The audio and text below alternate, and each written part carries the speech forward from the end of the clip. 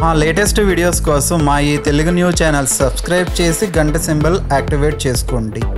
దీపావళి అనేది దీపాల పండుగ. ఇది ప్రధానంగా భారతదేశంలో జరుపుకునే అతిపెద్ద మరియు గొప్ప పండుగల్లో ఒకటి. దీపావళి ఆనందం విజయం మరియు సామరస్యాన్ని గుర్తు చేసే పండుగ. ఈ పండుగ సాధారణంగా అక్టోబర్ నవంబర్ నెలలో వస్తుంది. దసరా ఇరవై రోజుల తర్వాత ఈ పండుగ చేసుకుంటూ ఉంటారు. అయితే ఈ దీపావళి అనేది లక్ష్మీదేవికి ఎంతో ఇష్టమైనది.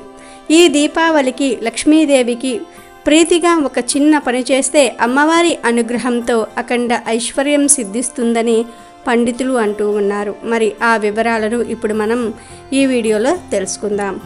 శ్రీరామచంద్రుడి విజయానికి గుర్తుగా దీపావళి జరుపుకుంటూ ఉంటారు. హిందూ పురాణాల ప్రకారం ఈరోజు పద్నాలుగు సంవత్సరాల వనవాసం తర్వాత రాముడు అయోధ్యకు తిరిగి వచ్చాడని నమ్ముతూ ఉంటారు. ఈ వనవాస కాలంలో రాముడు రాక్షసులతో మరియు లంక యొక్క శక్తివంతమైన పాలకుడైన రావణరాజుతో పోరాడాడు. రాముడు తిరిగి వచ్చినప్పుడు అయోధ్య ప్రజలు ఆయనను స్వాగతించడానికి మరియు ఆయన విజయాన్ని జరుపుకోవడానికి కూడా దీపాలు వెలిగించారు.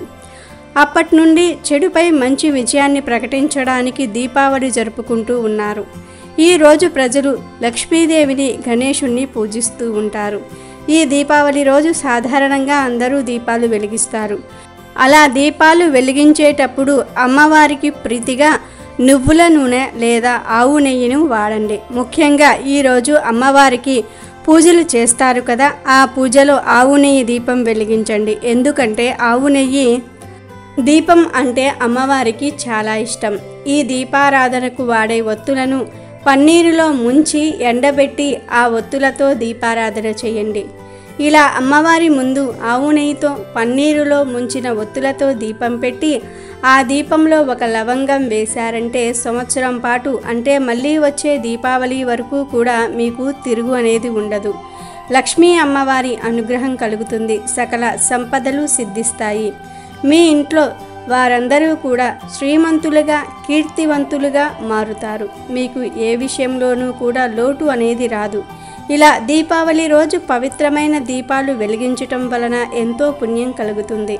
కానీ ఈ రోజుల్లో ప్రకృతి విరుద్ధంగా కాలుష్యకారకమైనటువంటి దీపాలను వెలిగిస్తూ ఉన్నారు. ముఖ్యంగా దీపావళి రోజు కొవ్వొత్తులు అస్సలు వెలిగించకూడదని పండితులు అంటూ ఉన్నారు.